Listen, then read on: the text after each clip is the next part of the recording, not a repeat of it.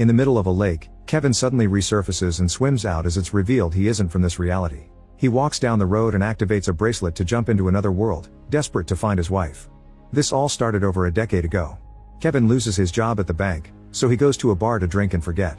Here he's approached by Molly, who was dared by her friends to talk to him. It starts as a prank but the two quickly hit it off and start dating, eventually getting married and having a child. Unfortunately the couple loses their son and this puts lots of strain on their marriage. Kevin is stuck in a desk job he hates, and Molly has become an alcoholic. One day, Kevin's boss gets tired of Kevin's attitude and tells him to take the rest of the day off, throwing a hint that he may be fired soon. Then Kevin gets stuck in traffic and calls Molly, which ends up in another argument. While he's distracted, a vehicle hits Kevin's car and he passes out. Moments later, Kevin wakes up and sees people running around the car on fire while a strange man checks on him, only to pass out again. A few more moments pass and this time Kevin wakes up in an alley with the same guy watching over him who introduces himself as the benefactor.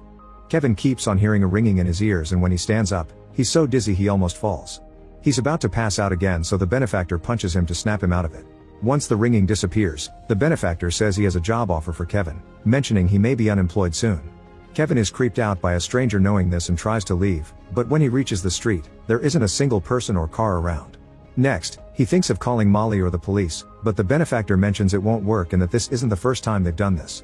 Finally snapping, Kevin pushes the benefactor against the wall and demands to know where everyone went, but the benefactor says it's Kevin who has moved. Afterward Kevin is dragged into a restaurant, where everyone including the owners and the waitress Tina seem to be scared of the benefactor. At that moment Kevin realizes that the benefactor is actually Satan, and when Tina brings the food, the benefactor makes her sit next to him by threatening her with a knife. The benefactor explains how each choice we make creates countless realities where a different option was chosen and that his power is to shift people, meaning he sends them to other universes. In the case of Kevin, he's brought him to this place and in exchange he sent Molly a husband that actually cares. The Molly of this reality was also sent away after Kevin gifted her a special necklace. Kevin refuses to believe any of this and asks for proof, so the benefactor uses a bracelet to send Tina into another dimension. Her parents fall to their knees in grief as a shocked Kevin steps away from the table. The benefactor insists he has a job offer for Kevin. In every reality he has a shifter to do his devil work while he's universe jumping, and he wants Kevin to be one of them. In fact the Kevins of other realities have already accepted, and they have everything they want in their lives, they only had to sell their souls. The benefactor even offers Kevin to give him back a perfect Molly, however Kevin responds by praying. At first the benefactor finds it amusing, mentioning how God won't ever care, but eventually he becomes angry at being ignored and disappears. Feeling lost and confused, Kevin apologizes to Tina's family and goes to the street, where he starts learning more about this reality. This version of society is living under a totalitarian regime, and officers wearing futuristic armor patrol the streets. When some cops see Kevin, he gets scared and runs away. Time starts to pass and Kevin has to adapt to this new society and learn its history. War and hate took over this society to the point of almost destroying the world. One day the shifters showed up, working in secret to get rid of anyone they considered problematic like politicians, pastors, and soldiers. Millions of people disappeared and peace was restored until the benefactor came to this world as well, and the few remaining leaders gave him control. Now this world has no hope and no faith, also religion is illegal. It's been five years since Kevin was brought here. He's perpetually sick and known as the Kevin who refused, so he uses a fake name to work for a construction company. His only friend is Gabriel, who knows the truth about him. Kevin writes any Bible passages he can remember on a typewriter and distributes them through Gabriel in secret as a way to rebel against the no praying law. In his free time, Kevin likes to help as many people as possible, wanting to make a better place out of this depressing city. Most of the world is destroyed by war and most people are poor while the benefactor's secret police rules the streets with brutality. By wandering around the city being kind, Kevin gets to see the little beautiful moments that remind him of Molly and keep up his faith in God. Unfortunately sometimes those memories transform into nightmares that show him losing Molly and his son over and over.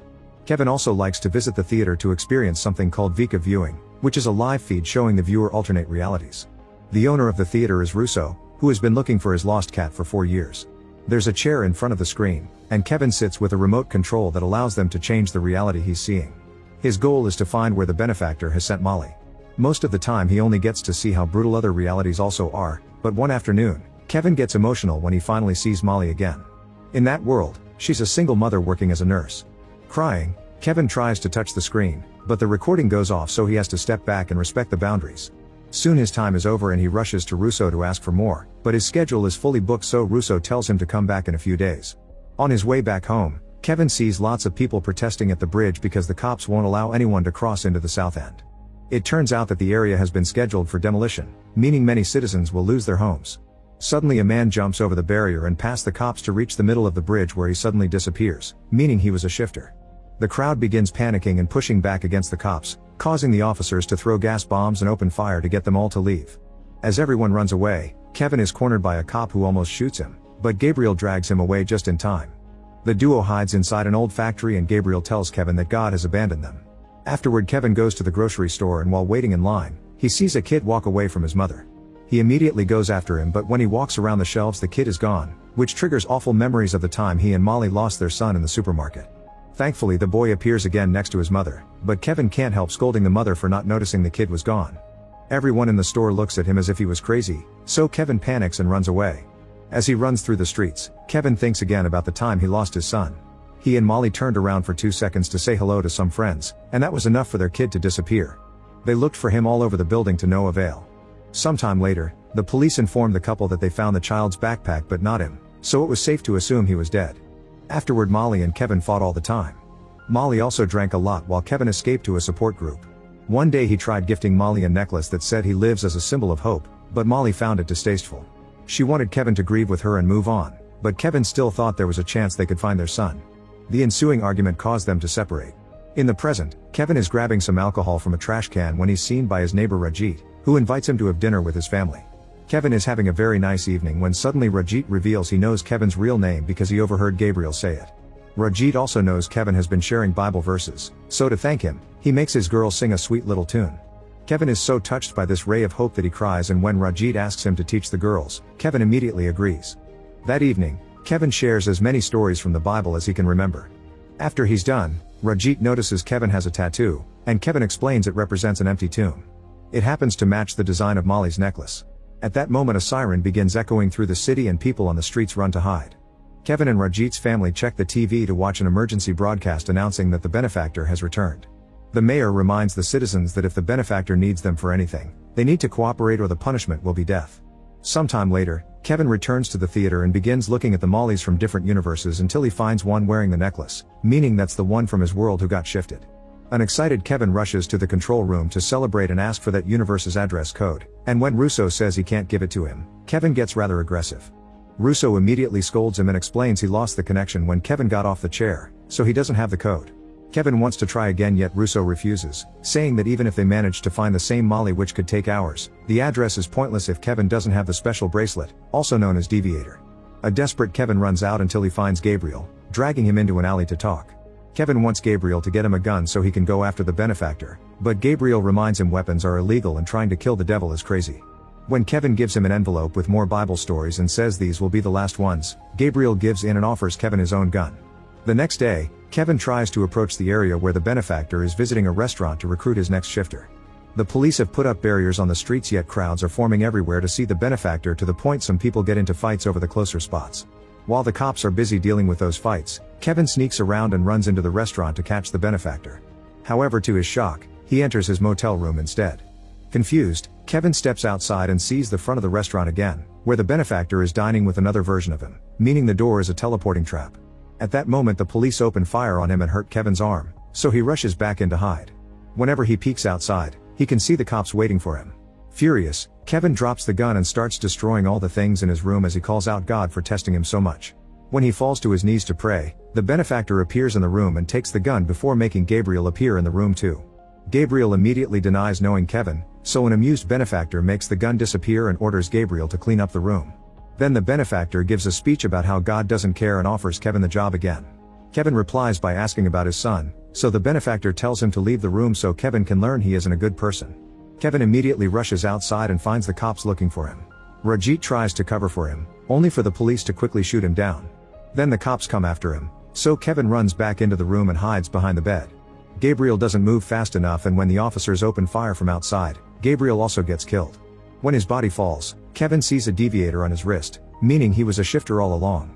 Kevin carefully sneaks around the bed and steals the deviator, pressing some random buttons to be teleported out of there.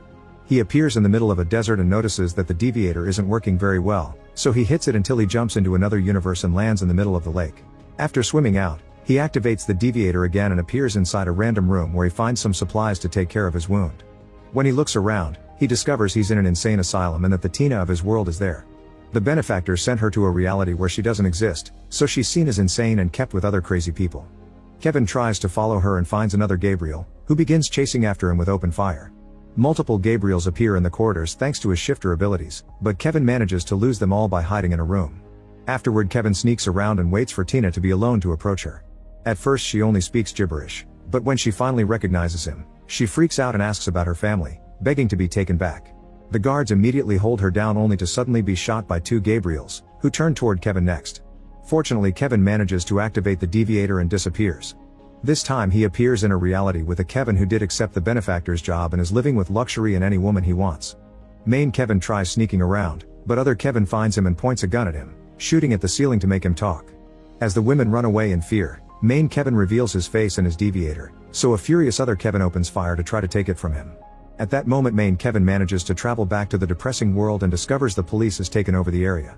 Luckily Rajit is still alive and before the ambulance takes him away, he gives his wife a drawing matching Kevin's tattoo plus the word hope. At that moment a woman sees Kevin and alerts the cops, who immediately begin chasing him. Kevin runs as fast as he can and makes it to the theater, where he immediately grabs the remote to start looking for Molly. By some miracle, he finds his Molly on the first try, and Russo tells him the address code while the cops burst into the building. Using the deviator, Kevin disappears just in time. In another reality, Kevin finds his Molly, who doesn't want anything to do with him. Kevin tries to say he never gave up on them and that he's changed, but it's not enough for Molly, who has already moved on and only keeps the necklace as a memento. Suddenly someone drags Kevin away by the shoulder, it's the benefactor, who brings Kevin back to the theater.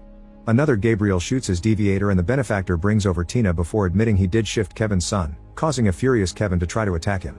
The cops immediately hold him down and the benefactor makes a final offer. Kevin must choose between going back to Molly for good or sending Tina back to her family. As Kevin hesitates, Russo is shocked to finally find his cat again, which is the sign of hope Kevin has been waiting for from God. He chooses to send Tina back to her family, and as she reunites with her loved ones, the benefactor takes Gabriel's gun to try to shoot Kevin. At that moment, a miracle blesses Kevin for his choice and sends him to the reality where Molly is a single mother and nurse. Since he's been healed up and his ring is missing, Kevin approaches this Molly in the bar like the other her did to him the first time, and they immediately hit it off. They soon start dating and Kevin starts a new life here, saying it's not his world but it is his home. Eventually he marries this Molly and he becomes a father to her daughter, they also have a child of their own. Kevin is so happy with this new family that he believes God rewarded him with the double of what he lost. Make sure to subscribe and turn on notifications so you can watch more videos like this. Thanks for watching.